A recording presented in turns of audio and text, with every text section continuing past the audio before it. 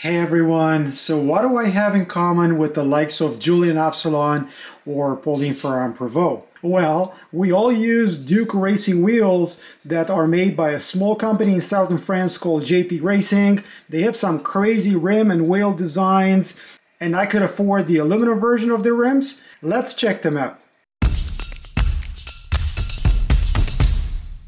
What I have here is their Sisters concept, dedicated front and rear rim with special designs. What's special about these rims? If you look carefully here, you're gonna see that the spoke hole is off center. So these are offset aluminum rims, something pretty hard to find these days. I prefer offset rims because they allow me to build a better wheel. The rims have different internal dimension as well. The front one is 29 and a half millimeters. The rear one is 26 and a half. If you look at the offset, the front one is 2.5 millimeters. The rear one is 2.2 millimeters.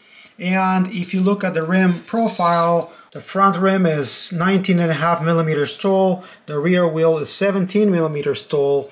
This makes for different behavior or different flex on the two rims to accommodate for the modern trail riding style, which usually uses a burlier, bigger tire front and a not so big tire in the back to fit in the frame. Otherwise, the rims are black with the logo and information about the rims here by the stem. If you're interested in the fancy pink decals that Pauline used all last year, they do have them, but they're a bit too expensive for me. I'm gonna build the wheels myself for trail riding and I decided to go for the trusty 350 hubs with center lock because I like the new Shimano rotors. These are DT Swiss 2mm by 12mm nipples and the spokes that I've chosen this time are Sapim Race. The beauty of having offset rims is that I can use only two spoke lengths for my two wheels. I'm going with 32 holes and 32 aluminum nipples are 10 grams, so 20 grams for the nipples. Sapim Race is a pretty standard 2 1.8 2 millimeter double butted spoke and 64 of them come up to 409 grams. My hubs with the XD driver come up to 394 grams. The front Duke rim is 497 grams, they spec 480. And the rear Duke rim is 461 grams versus the 450 they spec. This is pretty much the weight of a Stan's Arch MK3 rim, which is 26 millimeter wide as well, but it's not an offset rim like this one. So does it say Crazy Star anywhere where it doesn't? What about sisters? Well, that's a play on words and pronunciations. Six in French is six sters. You get it? Duke rims are supposed to be made with high attention to details and I can attest to that. These are beautiful. You see the hookless rim profile. I assume these are pinned rims. You see the, uh, the joint here and the finish is this matte black with a bit of texture to it. I know I kind of promised to show you how to build a wheel from scratch and I might do it one day, but let's just say in this video that if you have a TM1 tension meter, a good spoke wrench, and maybe a nipple driver, uh, you're good to go. I would highly, highly, highly recommend to buy this book, the Roger Musson's, uh, whatever edition is now, of wheel building. Everything you need is in here. And if you follow those steps, you'll be amazed. I laced this front wheel uh, three cross so that's over, over, under and I prepped the spokes for the first time with this which is uh, Teflon powder.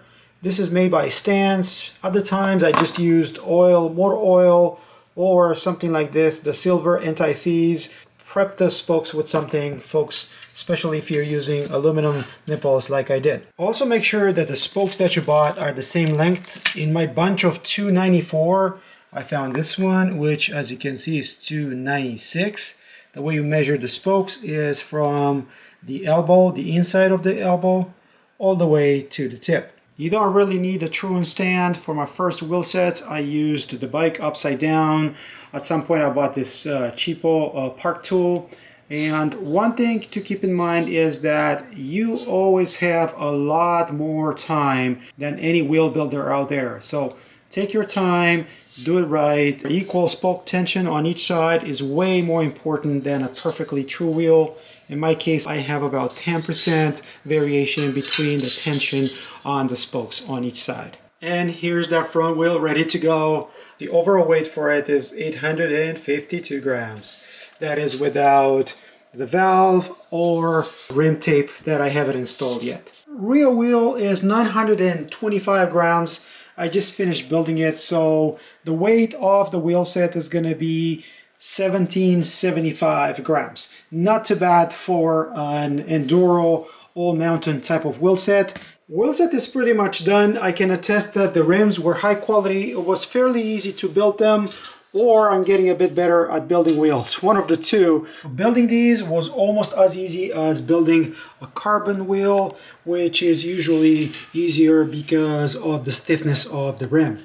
I usually build my wheels with offset rims because they allow me to use one or two lengths of spokes throughout the wheel set. Also, the wheel is laterally stiffer because the tension of the spokes on either side is within about 10%.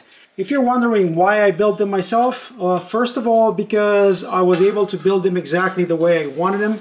Second of all, because in Canada, it would have been quite impossible for me to find something like this. I kind of like the concept of dedicated front and rear rims I like the story. I like the fact that the world champions are using these. Most importantly, I built them because I really like building wheels. It's not that complicated and quite rewarding.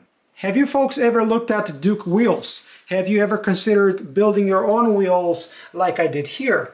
Let me know if you have any questions. If you found this useful, don't forget to like, subscribe, and keep an eye on social media.